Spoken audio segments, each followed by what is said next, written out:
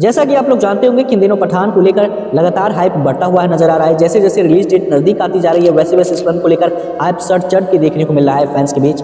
वहीं देखा जाए तो इस फ़िल्म को लेकर जहाँ कुछ ट्रेड एक्सपर्ट प्रिडिक्शंस भी लगाना स्टार्ट कर चुके हैं। जहाँ यह ट्रेड एक्सपर्ट्स का कहना है कि कम से कम पहले दिन जो इसकी ऑडियंस ऑक्यूपेंसी रह सकती है, उसके लिए तकरीबन बताया जा रहा है कि 90 प्रतिशत तक की ऑडियंस ऑक्यूपेंसी रिपोर्ट देखने को मिल सकती है, जितनी इसकी स्क्रीन होगी उसके मुताबिक। बताया जा रहा है कि कम से कम 25 लाख, ज़्यादा से ज़्यादा पैंतीस लाख के बीच इसकी ऑडियंस ऑक्यूपेंसी रहेगी इंडिया में, हिंदी बेल्ट इंडस्ट्री में। और आप सोच सकते हैं, अगर 25 लाख से 35 लाख के बीच अगर फुटफॉल टिकट होता है तो कहीं ना कहीं देखा जाए कि आराम से 50 करोड़ से लेकर तकरीबन 70 करोड़ के आंकड़े के बीच का कलेक्शन आ सकता है। जी हाँ ट्रेड एक्सपर्ट ऐसे ही नहीं कह रहे हैं, उनका कहना है कि यदि 25 लाख भी टिकट सोल्ड होते हैं। यानी 25 लाख टिकट भी सोल्ड आउट होते हैं फुटफॉल होते हैं। तो उसके मुताबिक 50 करोड़ का बिज़नेस करती है। अगर नॉर्मली टिकट प्राइस दो सौ का रहता है, अगर औसतन तो।